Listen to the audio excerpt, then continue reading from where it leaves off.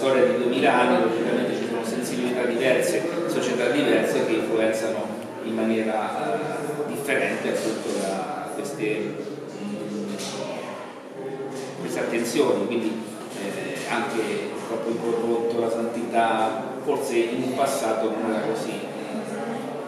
Io comunque ringrazio ancora Arnaldo per questo bellissimo eh, libro, eh, leggero eh, ma non eh, ma, ma, intenso. Io scherzando con lui dicevo che eh, in parte ti, ti, fa perdere la fede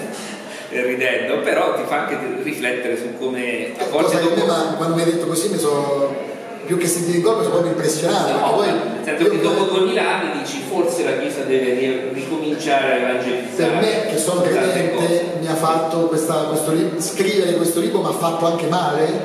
eh,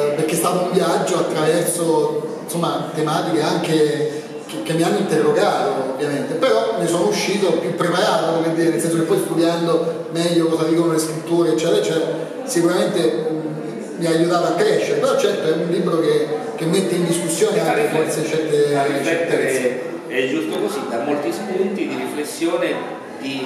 di interrogazione personale, quindi vi invito a, a farci un pensiero sopra, secondo le promesse delle copie, Arnaldo a disposizione per firmarle. Grazie ancora a Fernando e a tutti voi che siete stati con noi.